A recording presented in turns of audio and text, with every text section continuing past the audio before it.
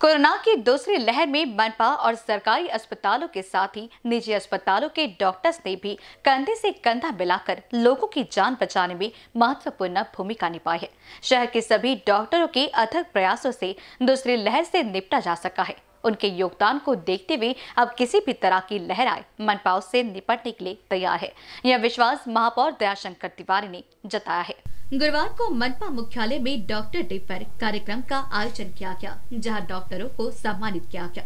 मनपा आयुक्त राधा कृष्णन पी, अतिरिक्त आयुक्त जलद शर्मा, अतिरिक्त आयुक्त राम जोशी आदि उपस्थित थे। महापौर ने कहा कि कोरोना काल में कई स्तर पर डॉक्टरों के खिलाफ रोष जताया गया। इसके बावजूद सभी ने अपने कर्तव्य का पालन किया है। महापौर ने कहा कि कोरोना की इस त्रासदी के दौरान निजी डॉक्टरों के अथक प्रयासों के चलते ही सत्ताईस हज़ार मरीज़ मौत के मुँह से बाहर आए हैं। आईएमए के साथ मिलकर मनपा ने जन सेवा का अभियान चला है। जोनल स्तर पर एक सौ बावन डॉक्टरों ने समुपदेशन किया।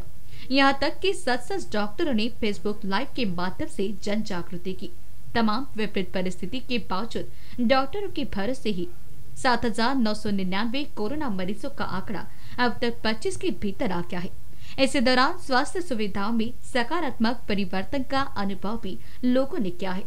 कैमरा पर्सन राजकुमार बोहट के साथ दिशा हटवार की रिपोर्ट।